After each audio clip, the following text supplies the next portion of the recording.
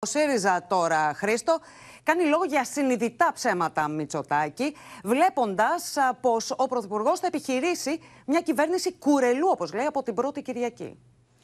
Στο ΣΥΡΙΖΑ δίνουν πολύ μεγάλη σημασία στην προσέλευση του κόσμου στις κάλπες την πρώτη Κυριακή να μην, και καλούν τους πολίτες να μην τηρήσουν χαλαρή στάση, αλλά να φτάσουν στην κάλπη και να ψηφίσουν το ΣΥΡΙΖΑ, γιατί μόνο η πρωτιά, έστω και με μία ψήφο, είναι η συνθήκη για το σχηματισμό κυβέρνησης. Φαίνεται, Ματίνα, να είναι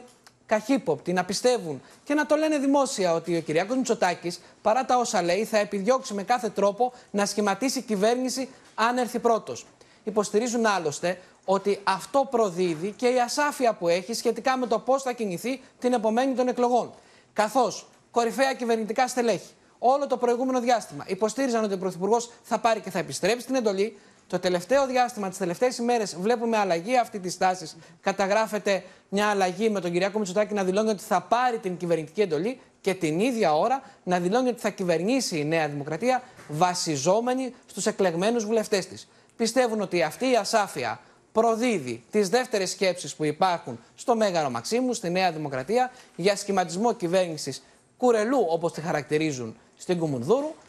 που θα προκύψει με μεταγραφές βουλευτών μέσω εκβιασμών, πιέσεων, αποστασιών, όλα αυτά που ακούσαμε τον κύριο Τσίπρα να λέει ε, στις δηλώσεις του στο βίντεο που προηγήθηκε.